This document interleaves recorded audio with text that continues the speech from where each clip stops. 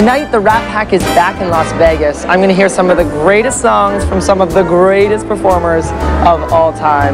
Frank Sinatra, Sammy Davis Jr., and Dean Martin. And I might even get to see Miss Marilyn Monroe. International hit, The Rat Pack is back. We stood and talked like this once before.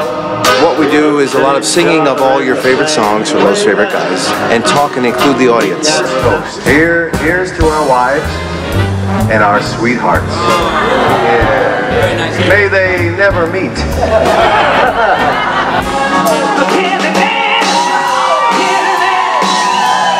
Oh, you might as well get your money's worth.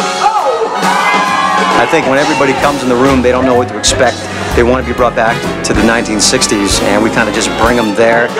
I'm gonna the thing, I'm gonna have my fling, I'm gonna live, live, live, live, live until I die. I highly recommend this for anybody to go see of all ages. It just took me back to 1960s before I was even born. It's an awesome show. Those guys know how to do it right. All in all, it was a stellar night, and